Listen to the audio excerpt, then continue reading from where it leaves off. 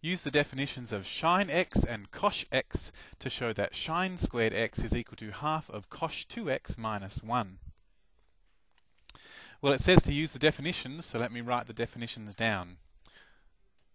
Sinh x is equal to e to the x minus e to the minus x over 2 and cosh x is equal to e to the x plus e to the minus x over 2.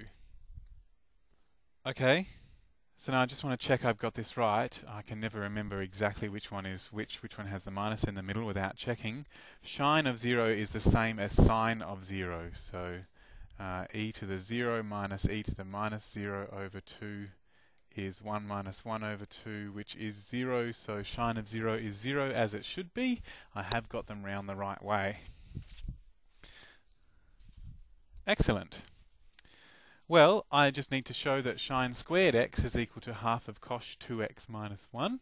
So I should just write down what sinh squared x is and see what I can do from there. Sinh squared x would be sinh x squared if it works the same way as sine squared. And that would be e to the x minus e to the minus x over 2 squared which would be e to the x minus e to the minus x squared over 4, which would be e to the x squared minus 2 e to the x e to the minus x plus e to the minus x squared over 4. Okay, so e to the x squared, when you do a power of a power, you multiply the powers together, so we get e to the 2x minus 2 e to the x times e to the minus x. When you multiply powers, you add them together, so x minus x would be 0, and that would be e to the 0, which is 1, plus e to the minus 2x over 4.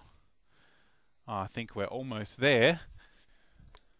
So that would be equal to e to the 2x plus e to the minus 2x on 4 minus 2 on 4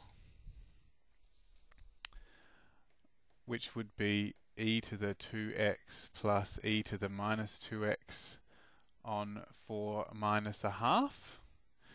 And I'm supposed to get a half out the front, so let me do that now. A half of e to the 2x plus e to the minus 2x over 2. So the half 2 on the bottom times with the 2 on the bottom to get a 4. Yep. Minus 1. And e to the 2x plus e to the minus 2x on 2 is exactly what I'd get if I put 2x into the formula for cosh. So that would be a half of cosh 2x minus 1. And that's the end of the problem.